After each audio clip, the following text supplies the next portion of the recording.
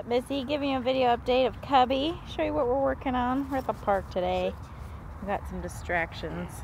My dogs are always distracting to other dogs, so we're using them. So what we're doing is we're working a lot on recall. He has a long line right now, but um, I haven't had to use it a whole lot. Good job, good down, good boy.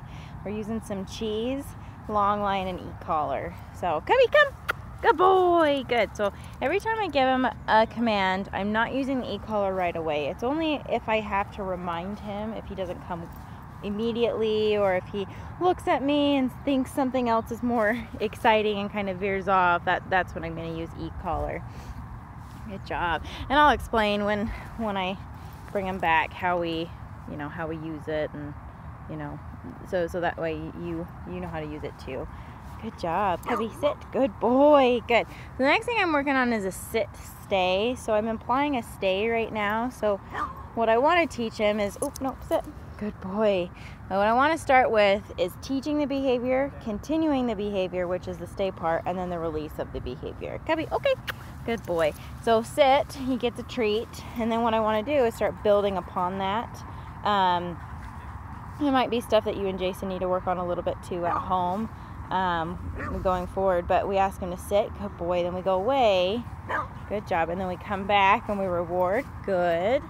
But it's still not, he's still not allowed to break from this or anything like that. So we're paying, kind of paying what we want him to do. So every time he continues to stay there, he gets a little paycheck.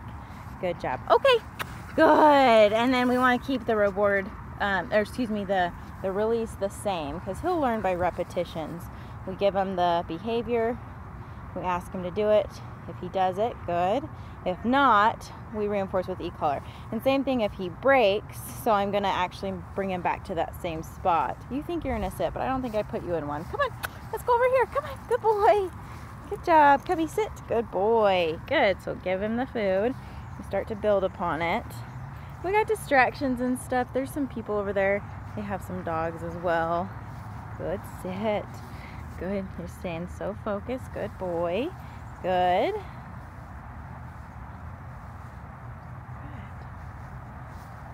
Baby, baby steps with this kind of stuff.